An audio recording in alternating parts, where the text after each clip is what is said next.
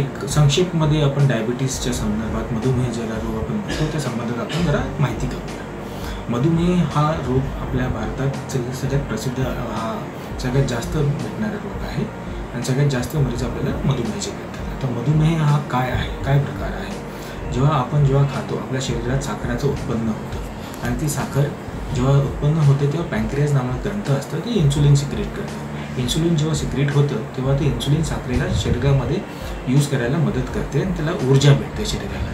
डायबिटीजमध्ये हे इन्सुलिनची मात्रा आपल्या शरीरामध्ये कमी होते किंवा इन्सुलिनचं काम करण्याची शक्ती कमी होऊन जाते. तेव्हा ही जी साखर असते ती आपल्या शरीरामध्ये जमा होत राहते. आणि ती जी साखर जेव्हा शरीरामध्ये जमा होऊन जाते त्याला आपण डायबिटीज म्हणतो.